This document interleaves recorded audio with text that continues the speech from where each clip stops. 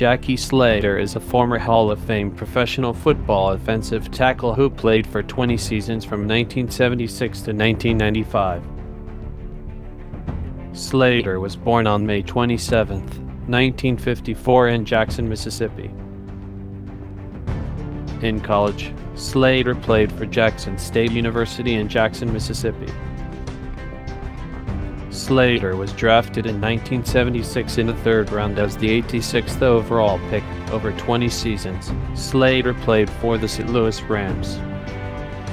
He was named first team All Pro three times, was named second team All Pro two times, and was a seven time Pro Bowler. His first and only team was the St. Louis Rams from 1976 to 1995. Here are some highlights from his 20 years with the St. Louis Rams.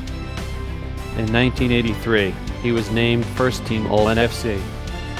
In 1985, he was named Second Team All NFC.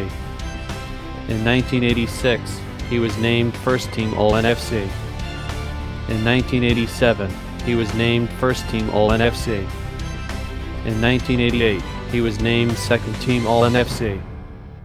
In 1989, he was named First Team All NFC.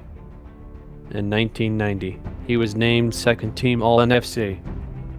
In 1995, he received the Bart Starr Man of the Year award.